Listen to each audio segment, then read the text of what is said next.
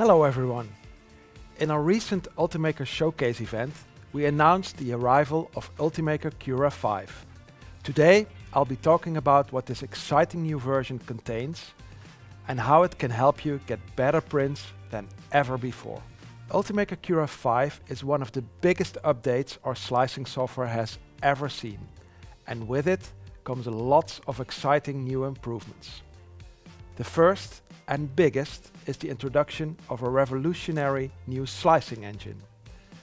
This new slicing engine uses a smarter variable line width strategy when slicing files.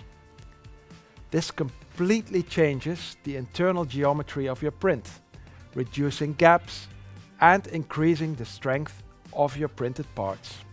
These improved capabilities will also increase your ability to print thin and intricate parts, meaning that you can now print fine details that would previously have been impossible.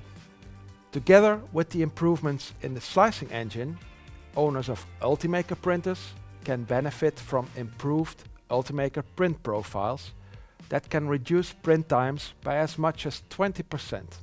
Additionally, we've revamped the workflow when using the marketplace within Ultimaker Cura, making it faster than ever.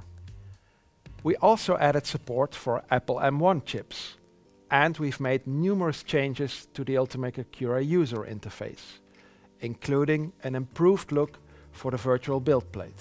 Finally, we've added a number of under-the-hood improvements that will allow metal FFF printing on Ultimaker printers, using the BASF UltraFuse 174pH metal filament, as well as laying the groundwork for an exciting new metal FFF solution coming later this year. Thanks for watching, subscribe for future updates and enjoy using the new and improved Ultimaker Cura 5.